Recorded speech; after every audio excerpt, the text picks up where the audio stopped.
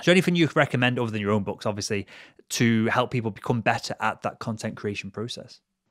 Uh, do you know what, Will? In all honesty, I haven't read books on writing. I read books on sales, and that inspires me in a lot of the content that I create. Um, I think a lot of the learning I do is from listening to, to podcast episodes like this, watching YouTube videos, just listening to people, or networking with other authors that I can learn from them. Sure. So I'm very lucky to know a lot of the sales authors now around the world but that's really helped me in, in my journey talking to them listening to them listening to how they write obviously reading their books and mm-hmm. and kind of consuming that journey that was helpful for me what i will say will i know at the end of this episode uh hopefully if we've got a question we're going to give away a copy of my book what i will happily add into that is I'll get a copy of the book you just recommended. So whoever's got some questions coming in, let's give them a copy of that book as well. So they get the, the writing book and then my book and hopefully tons of value.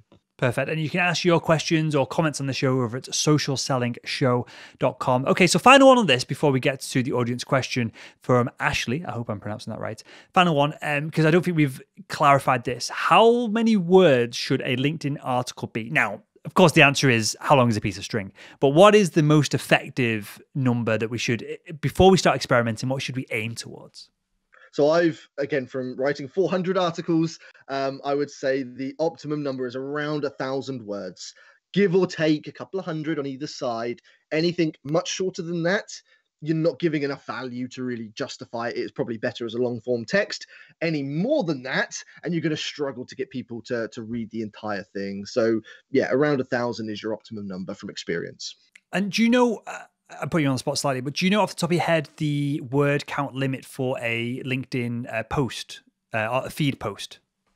Uh, a feed post, I don't know the word limit, but it's 1300 characters. So sure. that can obviously okay. any amount of wording, but 1300 characters is your is your limit in uh, in that, which I, I guess equates to maybe three or four sort of chunky paragraphs usually. So they are purposefully redirecting longer form content to an article, aren't they?